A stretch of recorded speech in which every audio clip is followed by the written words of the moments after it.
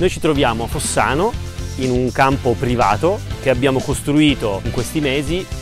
per poterci allenare per fare quello che adesso è il nostro sport, che è la Spartan Race. Spartan Race fa parte di un circuito che si chiama OCR, che sono delle corse ad ostacoli. Spartan Race è un'associazione che ha creato un format suo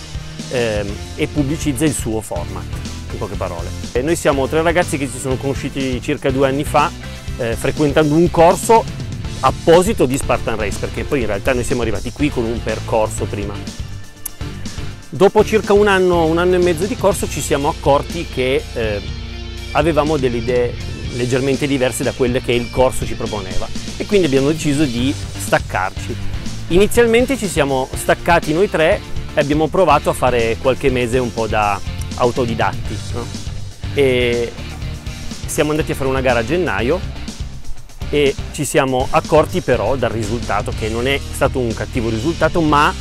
eh, che ci mancava qualcosa, che da soli, come, come, in tutte le cose, non si può raggiungere un obiettivo. E ho fatto una proposta ai ragazzi e ho detto ragazzi,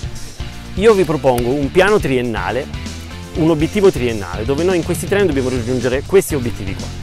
Eh, però lo facciamo solamente se troviamo un gruppo di eh, aziende, sponsor che ci aiutano nel conseguire questo risultato, perché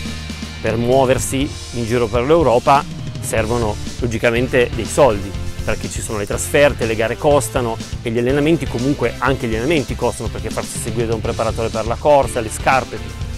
Durante il lockdown Mattias, che è proprietario di casa, prende e grazie alla sua azienda si fa imprestare un, un escavatore e costruisce questo, diciamo, il piano per poter fare il campo le persone che, sono, che, ci hanno accompagnato sono loro, loro ci hanno appoggiato e siamo partiti. Siamo partiti, abbiamo costruito questo, questo pezzo di campo perché poi il campo si amplierà continuamente in base anche ai fondi che riceveremo e mm, con i soldi di questi sponsor qua riusciamo in questi tre anni a pagarci le trasferte e le gare e poi noi metteremo il resto per continuare a implementare questo nel nostro campo. La prossima gara in teoria è alla fine del mese di agosto in Repubblica Ceca facciamo una gara la più lunga che la Spartan presenta, che è un più di 50 km, si chiama Ultra, quindi questo serve anche per noi per riuscire a allenarci perché qui non c'è un campo di allenamento per questo, qui non c'è.